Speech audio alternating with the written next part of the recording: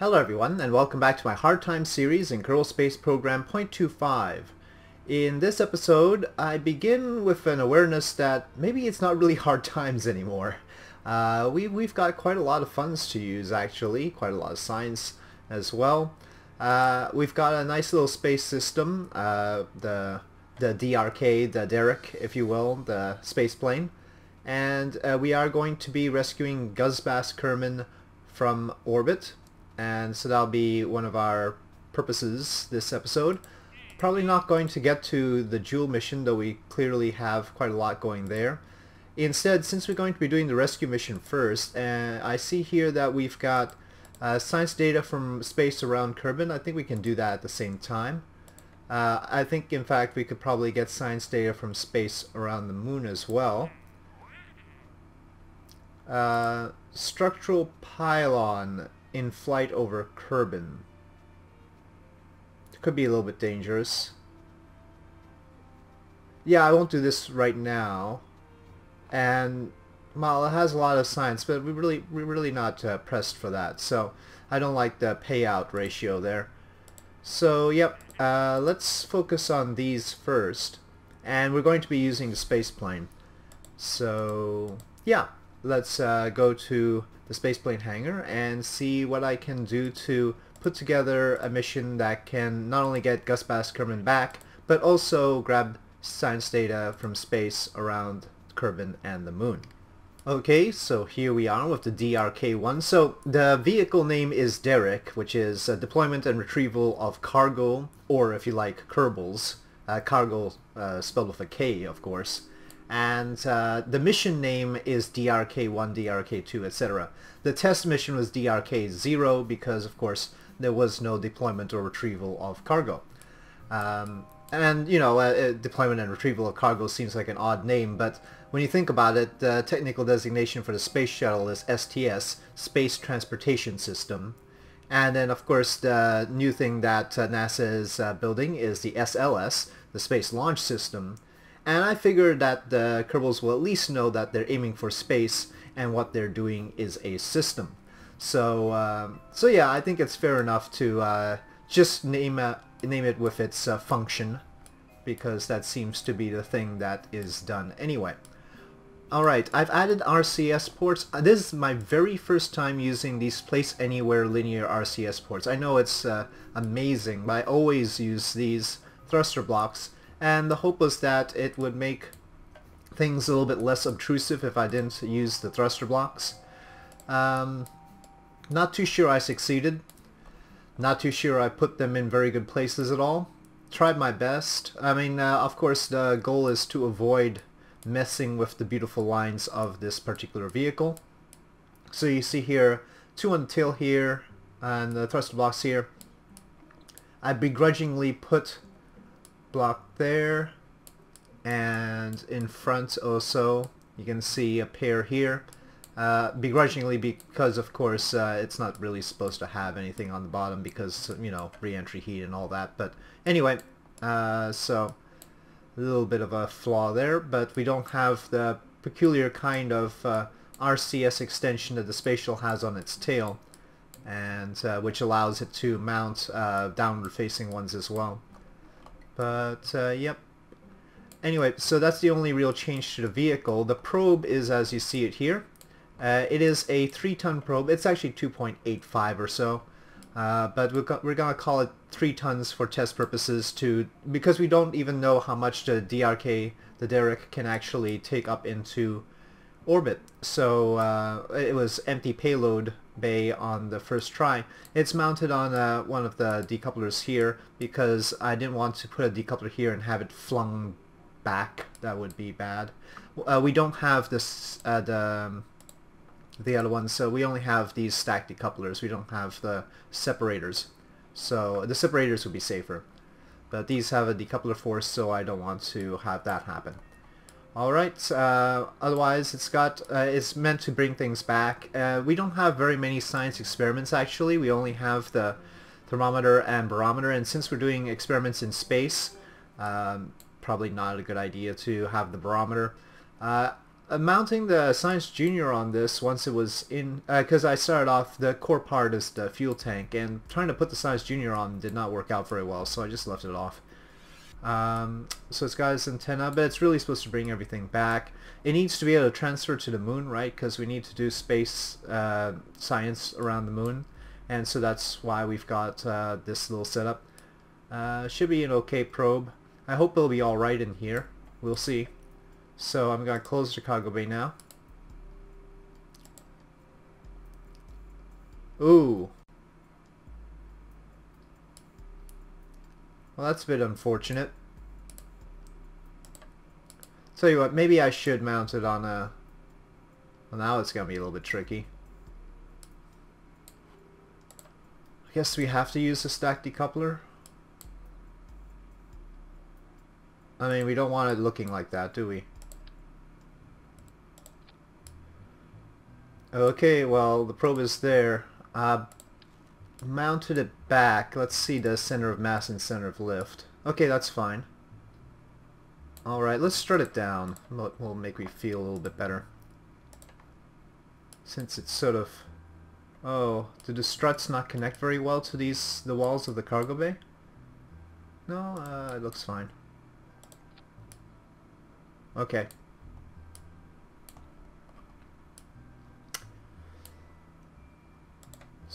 So,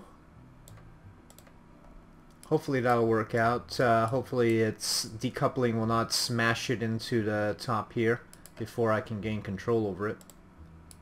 Let's see if the closing of the bay doors has any clipping now.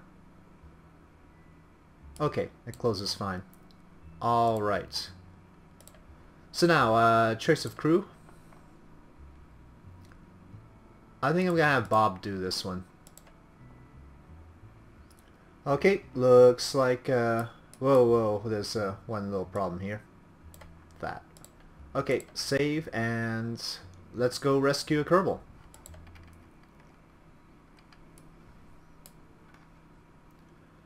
Okay, here we go with Bob Kerman carrying much heavier load. Let's see if this thing can make it to orbit even. Uh, where is our Kerbal? Gus Bass Kerman.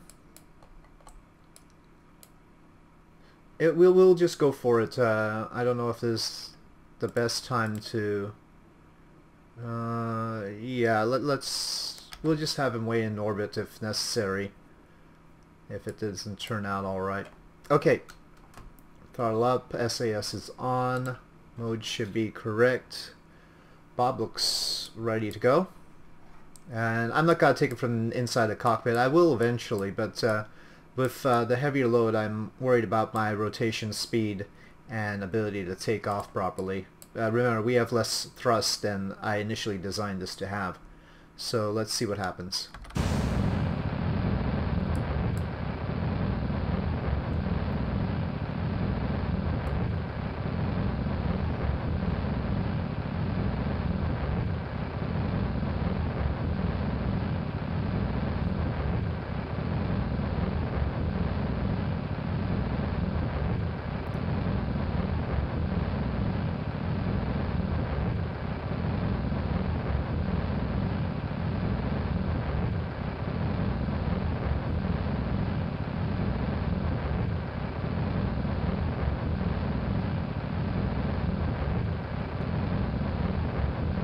Okay, rotate.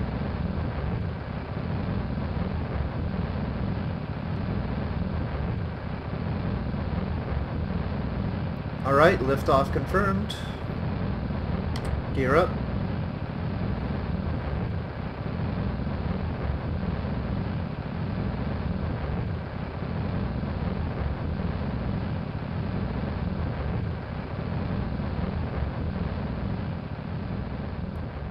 Okay, the DRK-1 mission is underway.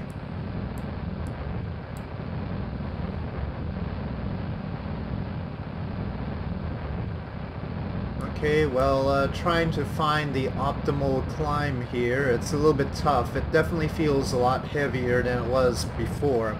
We've added 3 tons to it, and if you see, total mass uh, 47 tons right now, but that's before we have burned the fuel that will get us into orbit. Uh, seems to be on automatic switching, but I think I'll I'll probably end up switching it before it switches itself, so should be fine.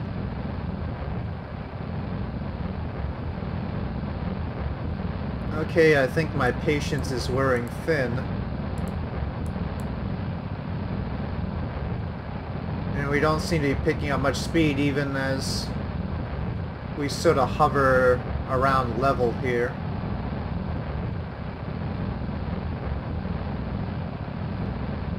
try for a little bit higher and then switch over to to rocket mode on the outer engines.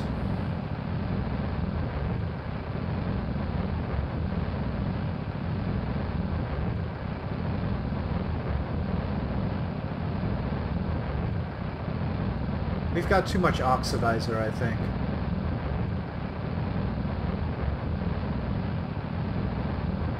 Okay.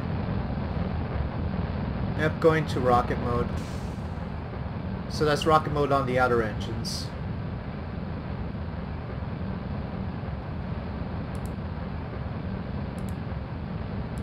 Okay, we're losing thrust in this engine, so I'm going to go to rocket mode there too.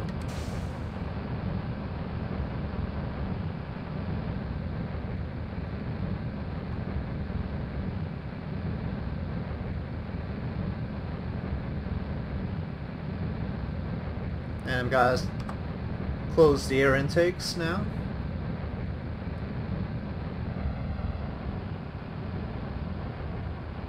Okay, looking good so far for Bob Kerman on his way up. But will it be enough? Don't know just yet.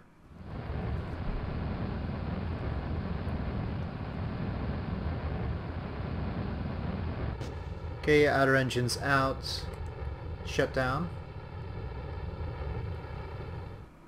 We don't actually have much fuel left. Hmm. It may in fact be wise to transfer some fuel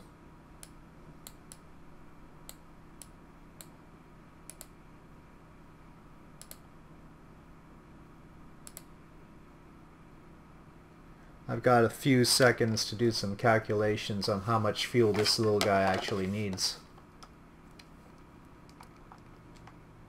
It has 4,000 delta V right now. well, that's a lot. And uh, let's say we uh, dump uh, one ton worth of fuel out into the into the Derek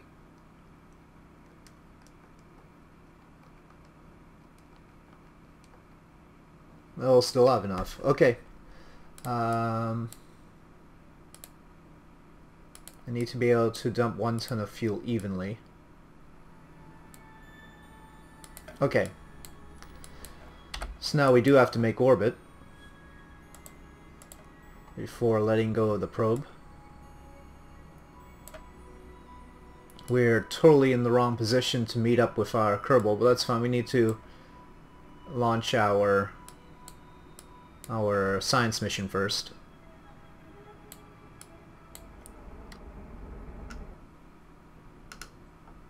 Okay, that's orbit. Not necessarily the orbit we want in order to meet up with our Kerbal, but it's good enough for now. Actually, pretty circular. 82 by 84. Okay, now, the question is, when I decouple this, will it smack everything else?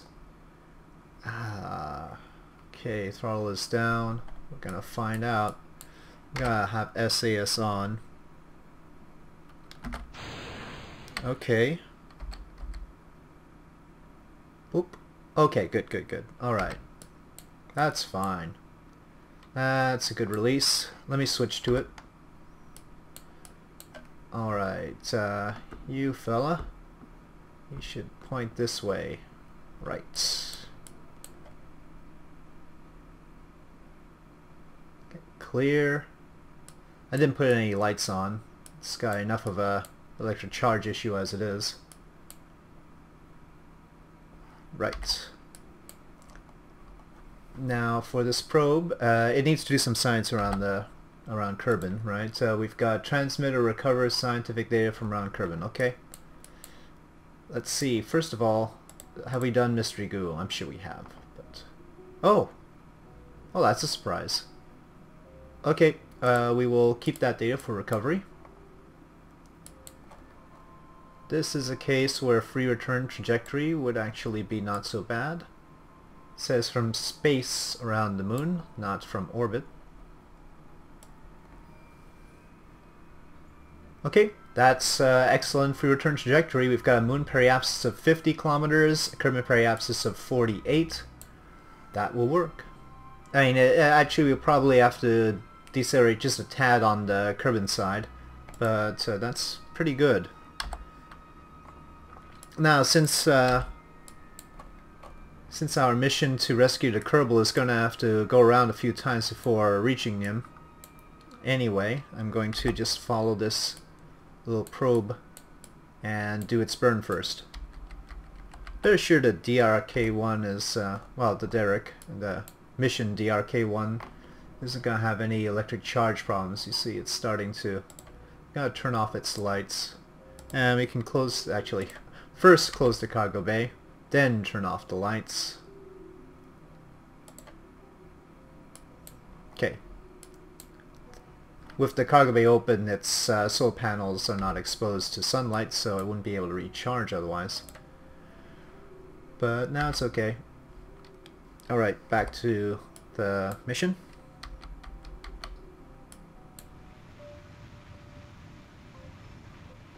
Okay, looks like an excellent burn good timing and everything. Uh, of course I set the throttle to make sure that we have the good timing on it so that we don't uh, go too far away from our plan which happened to be a pretty good uh, trajectory. We don't have too much fine-tuning available to us. Okay, a little bit higher than expected on the moon side. Let's see what our Kerbin periapsis is. We don't need to get too low above the moon, so we'll just tune our Kerbin periapsis for a straight up re-entry. That should do it. So what we have is a moon periapsis of 85 kilometers and a Kerbin periapsis of 32. I don't even think we need to use the rest of the fuel, honestly. Okay, the probe is underway. Looks like our orbit is pretty close to the target's orbit.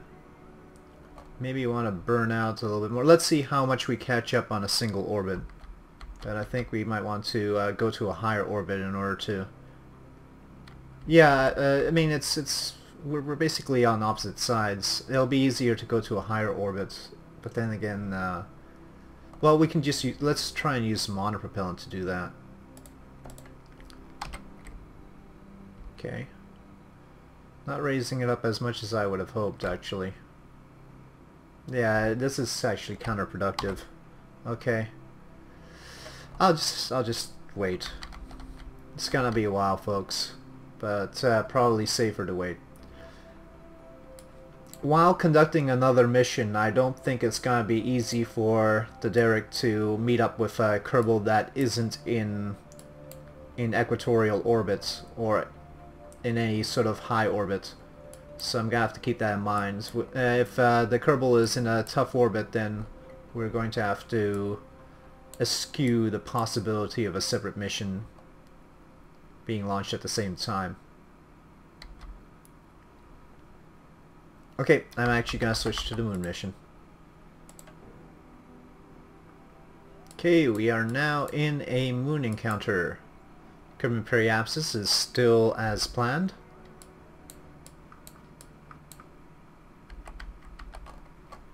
Just need to pick up some science of any kind.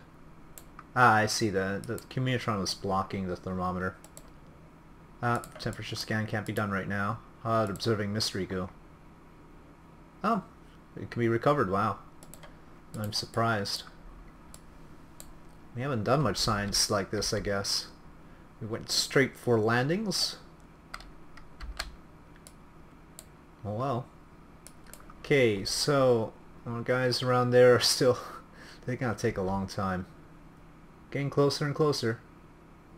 I think we'll be able to bring this mission down first, though. Yeah, this mission is gonna get real close to Gusba. Actually, this mission is going to be closer to Gusbas Kerman than, than the DRK-1 at this point. Alright, we are going to re-enter. Is that a lake down there? I think so. Or is it uh, a one of the whatchamacallit, Easter eggs?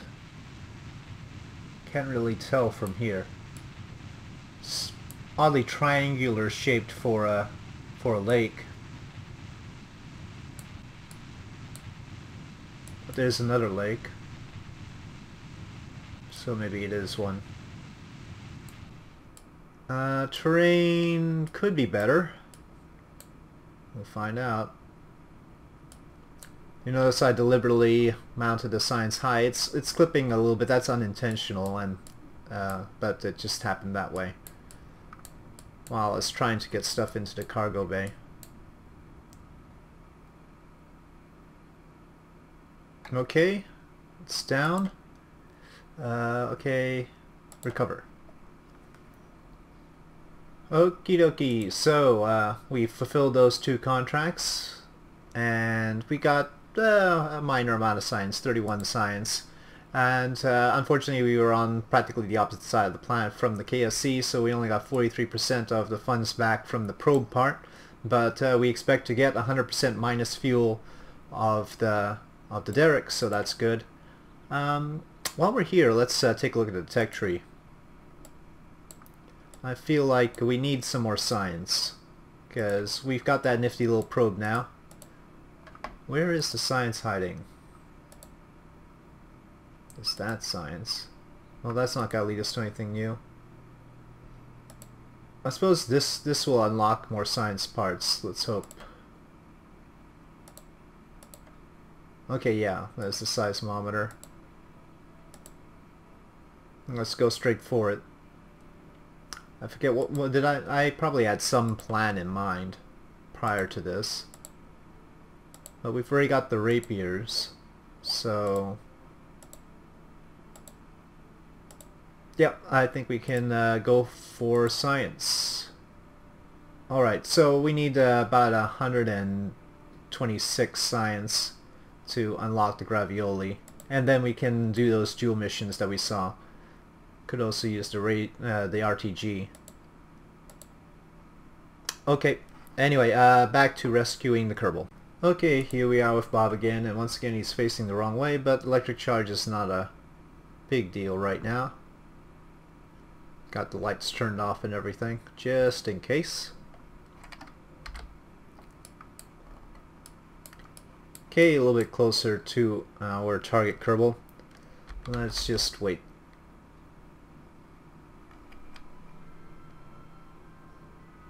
Okay, we should be able to make a rendezvous on this orbit.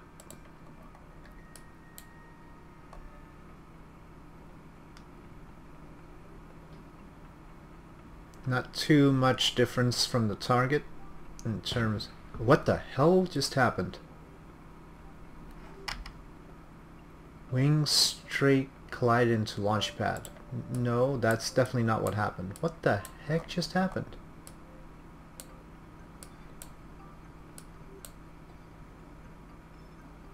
Okay. I hope it wasn't anything critical. I don't see any problems. Maybe we should uh, get Gus Kerman to take a look around at the ship before coming back in. Where is he anyway? There he is.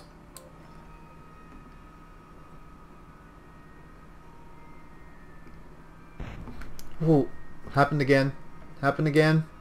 Something happened. What the heck? That's so scary. Structural wing type A collided into launch pad. Okay, uh, does that mean we're missing wing parts?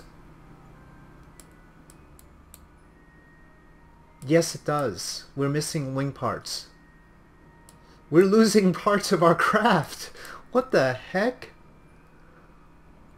We're not we're not anywhere near the launch pad, folks. Um, here, uh, I'm going to I'm gonna quit out of the save and come back in uh, before we lose any more of our craft. Okay, so I've completely restarted KSP in the hope that things will stop exploding on the launch pad when they were never on the launch pad. Doesn't have any indication here, but we're still missing those parts. This is a bit worrisome. Instead of uh, turning with torque, I'm going to start uh, using pure monopropellant. Why we're drifting away from Gus Kerman after I matched um, speeds with him, I have no idea. I mean, why our difference to target is so different, I have no idea. Um, here, let's...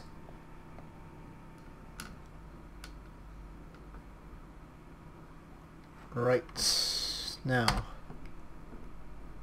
try to do this as gingerly as possible so that I mean my my suspicion is that some of the wing pieces were colliding with each other and that's why that's why we had those explosions though there's no good reason for that either. Um, especially since it says that they collided with the launch pad which is wrong but you know tough to say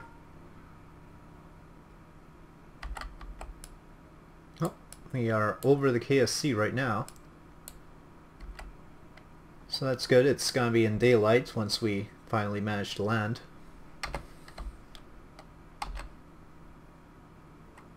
Okay, I think I'm going to take control of Gus Bass. Alright. Now, you crazy Kerbal. Be careful. Chase view. Orient.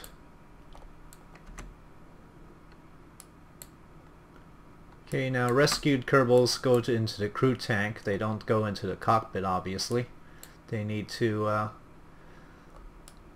sort of uh, get situated. You know, they've had a traumatic experience and all of that, so we don't want them having to deal with operations. Even though there's a spare seat handy, they probably Probably just wants to relax a bit.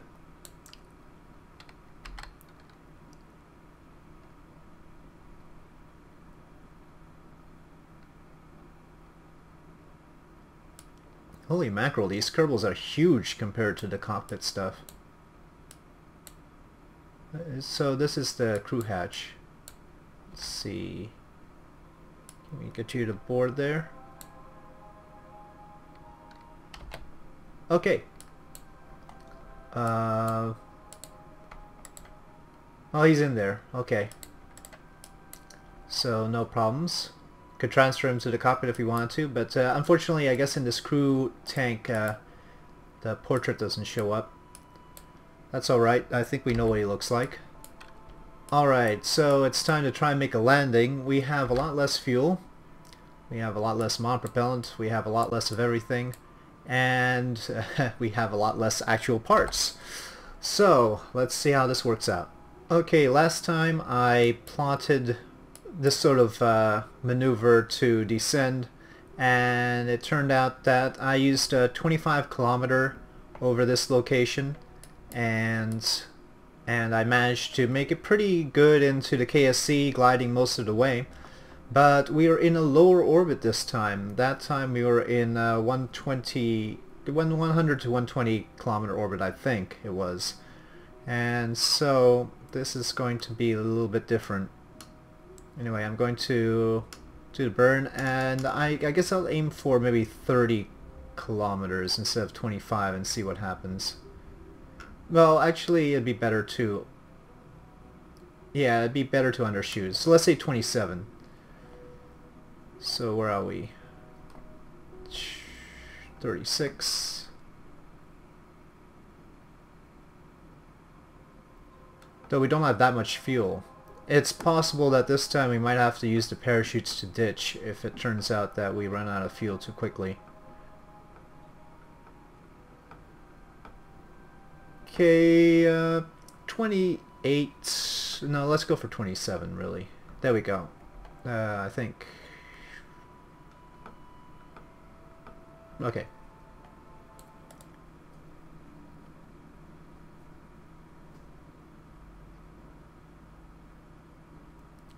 I am not sure how well the parachute abort system will work out, whether it can really save this entire vehicle or not. There are no parachutes on the cockpit itself. I guess by having one Kerbal in the crew tank and one in the cockpit, we're sort of making sure that our eggs aren't all in one basket. Probably wise. Actually, this approach doesn't look too bad so far.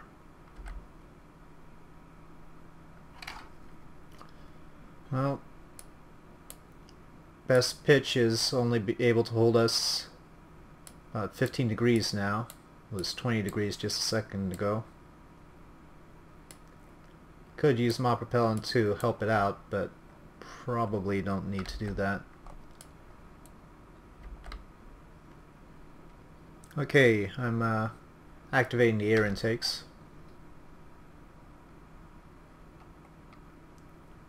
Switching engine mode back to jet. Air breathing.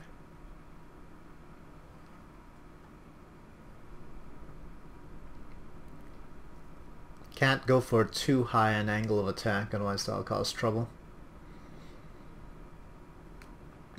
And if I want a higher angle of attack, well, if I want to tighten up the prograde vector with respect to my current angle, I will need more thrust. So I'm trying to balance that out right now. More thrust I get, the closer the angle will be, but then I also have to watch my fuel. We're quite a ways away from target.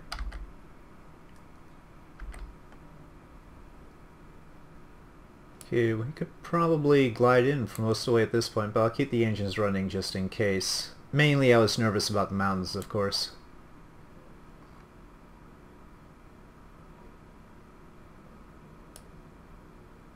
I think I've got the runway in sight. I'm not sure. Actually, the icon for the landing beacon is somewhat getting in the way. I think so. Okay, Bob Kerman looks confused actually. Well, maybe maybe that's his game face. I don't know. He certainly looks like he's perusing the instruments, making sure he knows what's going on. Well, let's hope he's got this going right. I'm gonna throttle up a bit just to make sure we can uh, we can head back up quickly if necessary.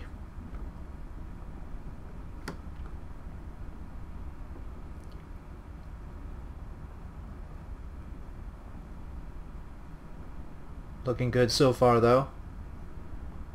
Very, very good approach.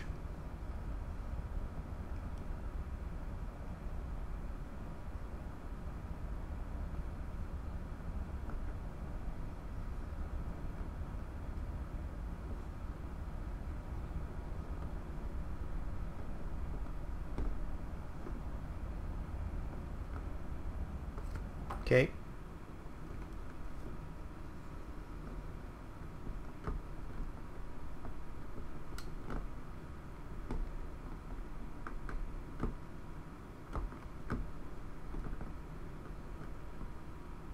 Okay, brakes, brakes, brakes, brakes.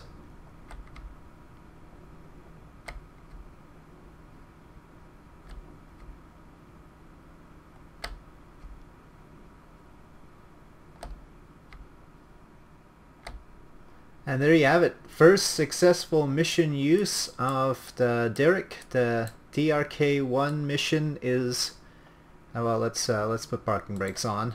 Uh, is a success. We have uh, Gus Bass Kerman added to our roster. Bob Kerman did his job successfully. a few margins were a little bit tight.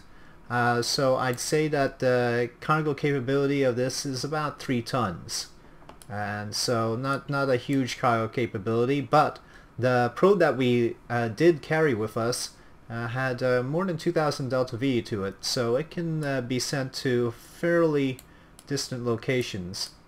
And uh, of course we transferred some fuel back. I really need to dump about 200 oxidizer out of this uh, system and that will make things a lot more efficient. Okay, let's recover vessel. Okay, uh, no additional science. Uh, parts recovered at 100% of value, 91,770 funds. Of course, we lost a wing piece, at least one wing piece, for uh, for some strange reason. I think it was two. And uh, now we've got uh, two Kerbals available for new missions. Um, yeah, that's all good. And next time I'm going to do something other than this space plane. I think we should uh, turn to other things and uh, I don't know if it's going to be the Jool mission or something else. I'll have to, well, whatever I feel like doing, I guess. So uh, thank you for watching. If you enjoyed this video, please do press like. If you have any comments or suggestions, please leave them in the comment section below. And I'll see you next time.